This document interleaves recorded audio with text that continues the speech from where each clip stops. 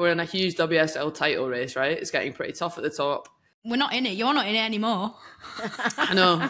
Ouch. You decided to jump out of it. You bailed.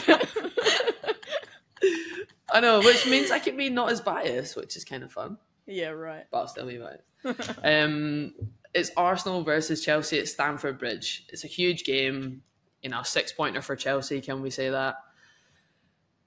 Every game is a big game. Is that true or not? You know, is this is this more hyped up? Does things change in the week leading up to it? What's it been like as players? Because that's the kind of classic line everyone says, right? Every game's a big game, but how much truth is there in that? What do we think, Rach? Every game's a big game, but this is a big game. Nah, Yeah. not- I think there's the the rivalries. They're, they're the huge games. They're massive games. So every game means something, but these are the games. I don't know. You want. This sounds really bad, but you you want your big players, players that can create moments to turn up in in games like this to win you the game. So um, I suppose it it, it will determine and, and show the character of of your players. You've got to Mm. stand up and be counted in a in a game like this where both teams both teams need the win.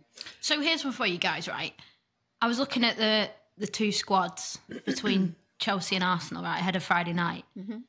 And every player in those teams who would start and be on the bench are big players. So like this game on Friday, like is fascinating in my opinion because I was looking at Arsenal's bench and I was like, from their last game, they played midweek last week against Villa in the Conti Cup. And I looked at their bench and they had Kim Little, Pelova, Scary. um, I can't remember, but those two who are nailed on, you know, Yeah. normally play. And you're thinking like they've got them on the bench. You've got Russo and Blackstenius. You've got Kyra Cooney Cross in the mix now, and you're like, wow. And then you look at Chelsea's bench. They played Everton in the FA Cup this weekend, just gone. So if you're Jonas Eidevall, if you're Emma Hayes, you're obviously picking eleven that you think will win that game. But there's also the banker on the bench, which is what fascinates me about about, about this match on Friday night.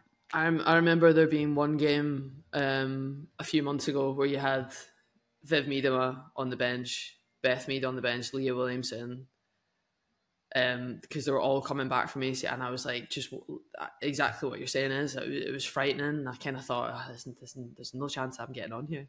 No. Nah, and draw in the last minute. You're going up front. that was the penny drop. I was like, right, I might need a move calling. here. yeah. this is Chelsea's bench from the quarter final against Everton last weekend. Buchanan, Hannah Hampton, Niamh Charles, Lauren James, Melanie, Mel- Melanie, Melanie Lloyd Poles, Guro Reiten, Ashley Lawrence, Catarina Macario, and Hamano. That was their bench. It's insane. bench. We we do speak about these games though and how tactical they are. Like it's like a game of chess, and I feel like when it comes to selection, it's not. It doesn't come to having your best eleven on the pitch. It's tactically what you want to do and how you want to play the game a little bit different. That's what's so interesting about these these these big games. It's What's fun about and this finishes, isn't it? Yeah, You know, when people talk about the starters and the finishes, Yeah. that's that's what you got to look at. I always find it the head to heads because the and you look at there's there's been one already and Chelsea got absolutely battered at the Emirates.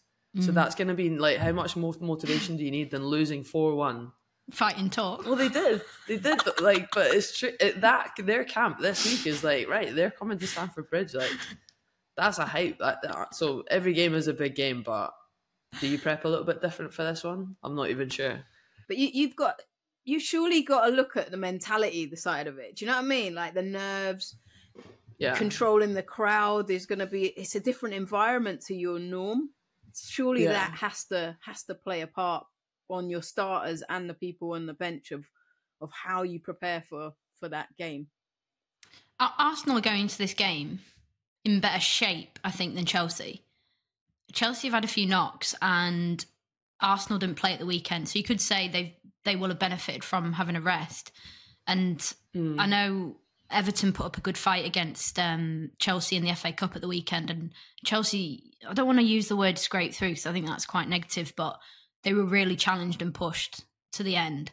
And I think that a normal Chelsea team, you know, on paper would with that squad would dominate a team in the bottom half of the WSL um, in in an FA Cup fixture, but.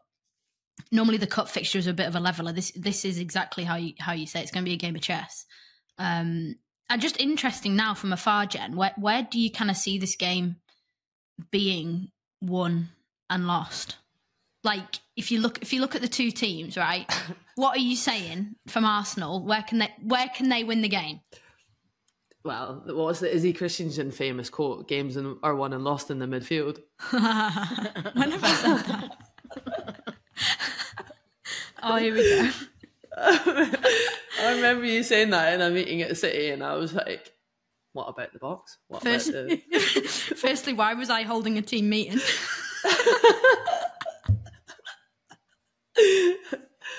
No, I mean, yeah, I mean, for me, I'll always look at these games are always shifting in momentum, right? I think the the game at the Emirates was quite a was quite a different one. Arsenal did kind of dominate it, um, but these games are always, yeah, the, the shift in momentum.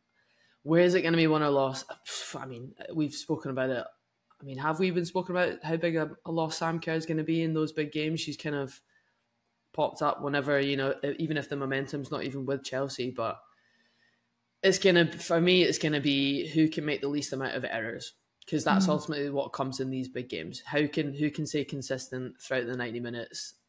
Lack of error because sometimes it doesn't even go to the better team. It just comes from who gets the you know the opportunity or who makes the mistake. That's yeah. sometimes what these games come down to. Um, I think it's too tough to call. Like you said, there's too much quality. Don't even know what the lineups are going to be. Um, so it's hard to even you know predict who's going to outplay who in, in what area of the pitch. But I can't wait. I'm gonna I'm gonna try and watch it. The evening games are always good for me time wise. Um, what time is so that for you? And, I think it's like late morning or like mid mid morning, which is perfect. I think with the Emirates, you know, with the sellouts and everything, and you know, it's incredible. And I think Stamford Bridge is due for a massive turnout on um, on Friday night. I think that perhaps adds a little bit of a spice to the occasion, and I'm not going to say it will alter the players because when you play at this level now, your preparation is so clean and you know what mm. works for you. Um, but I, I just I, I can't wait for it Friday night because it will have a big say in the title race. Either way, you know, if you're Man City, you want this game to be a draw, or for Chelsea to drop points. Arsenal, you know, they've got themselves. They've they quickly jumped out and then jumped back into the title race. Um, and I remember asking Jonas, and I said, "Are you back in it now?" And he was like, "We were never out of it." I was like, "Yeah, fair point." um, but they are right back in it, Arsenal. Um, so it, it's going to be fascinating. I, I, can't wait for it. It's pressure, though, isn't it? I think. Yeah. You know, like from the start, how how how well the teams start.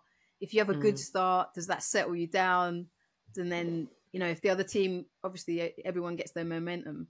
If they come back into it, is there pressure on? If there's an early goal, then you know if yeah. if Arsenal have to go for it, will they actually go for it, or will Chelsea, if it's mm. the other way around, and Chelsea are uh, you know have to play catch up because, or do they think you know it's okay to? Uh, it's, it's, such a mind game. I think there's so many different yeah. ways you can kind of look at it.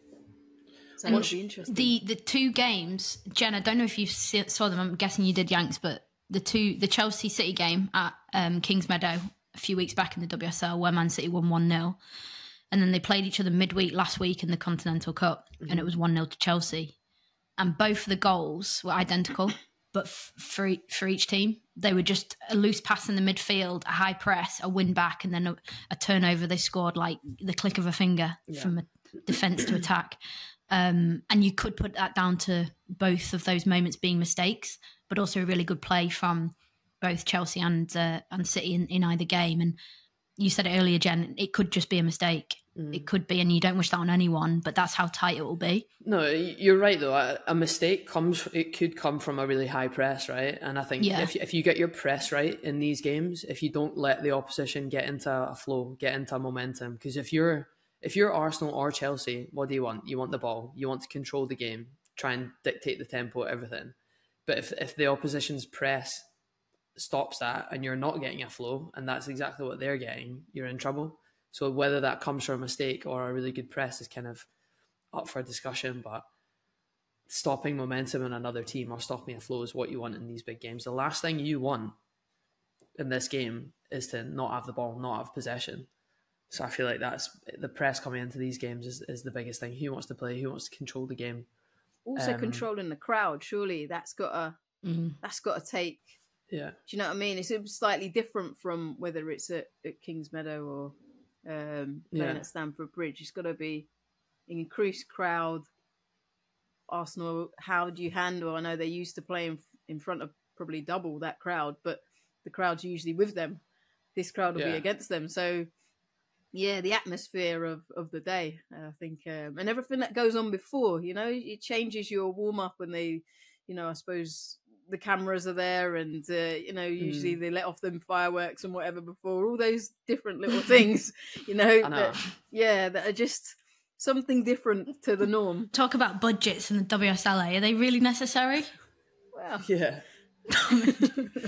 but that's like we, we keep saying every game's a big game, but you definitely feel the the hype like of a game being bigger.